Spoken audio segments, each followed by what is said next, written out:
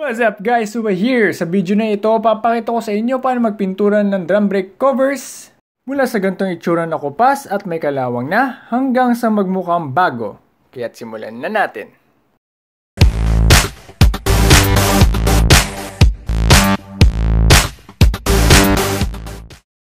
Ito po ang mga kailangan para sa DIY na ito. Unang-una ang high temp paint sa kulay na gusto mo. Tapos, paint remover o paint stripper, pangtanggal ng lumang pintura doon sa drum brake covers. At para mas mapabilis ang proseso, syempre, ang pantanggal ng gulong. Sandpapers, kumuha ka ng iba't ibang gaspang ng iliha. Kumuha ako ng 100 grit at saka 240 grit. Mas magaspang, mas mainam. Tapos, mga masking tape, wire brush, plastic scraper, tapos screwdriver, tsaka screw. Mamaya makikita nyo kung para saan yan.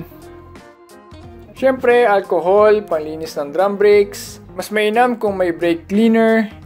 Tapos mga basahan, mas maganda kung dalawa. At ang jack at mga jack stands para sabay nating mapinturahan. Unang-una, i-jack up ang sasakyan at nanggalin ang gulong. Siyempre, huwag kalimutang i-disengage ang handbrake para matanggal natin ang drum brake cover. Para matanggal ang drum brake, gagamit po tayo ng mga screw na kasya sa mga butas na ito. So, i-screw lang po hanggang sa umangat ang drum brake cover. Pagkatapos, pwede na po itong hilain. Ingat lang po dahil ito ay mabigat. Ngayon naman po ay lilinisin natin ang drum brake cover gamit ang wire brush para matanggal ang surface rust. Siyempre, huwag rin kalimutan ang kabilang gilid. Pagkatapos, punasan ito ng alcohol o gamitan ng brake cleaner. Kapag malinis na ang drum brake cover, kunin ang paint remover at basahin ang instructions. I-apply o i-spray ang paint remover sa drum brake cover. Huwag niyo pong kakalimutan magsuot ng dust mask at gloves. Siguraduhin nilagyan ang bawat bahagi ng drum brake cover at hayaan ito ng ilang minuto. Pagkatapos, pwede na pong tanggalin ang lumang pintura gamit ng wire brush. Bukod sa wire brush, pwede nyo rin pong gamitan ng power washer pero kailangan nyo pong punasan kaagad. Bukod sa nabanggit, pwede nyo rin pong gamitin ang scraper. Ngayon naman po ay lilihain na natin ang drum brake cover. Sisimulan po natin gamit ang pinakamagaspang na liha. Lihain ng maigi hanggang sa matanggal ang mga kalawang at natirang pintura.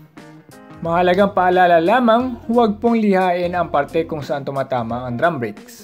Ito po ang pinakamatrabaho na parte, kailangan pong lihain hanggang sa maging bare metal na lang po ito.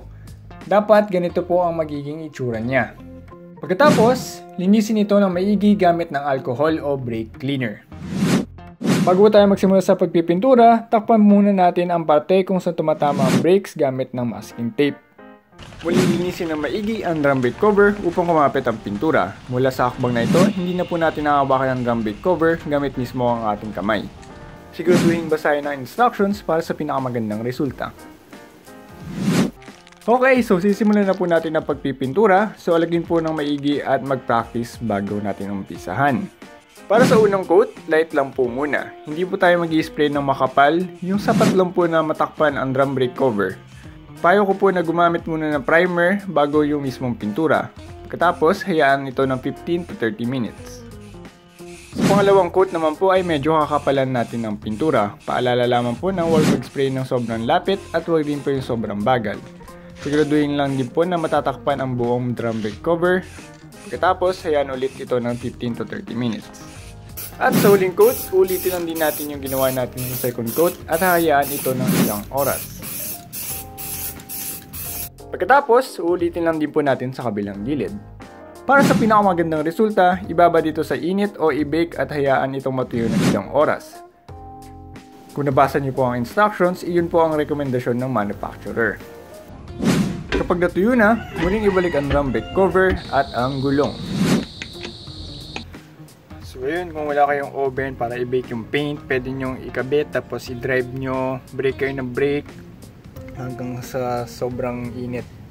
Ayan mainit siyang hawakan so yan para mabake yung paint yan yung other way so ngayon ipagkumpara natin ang itsura ng drum brake cover noon sa itsura nito ngayon na bagong bago ang dating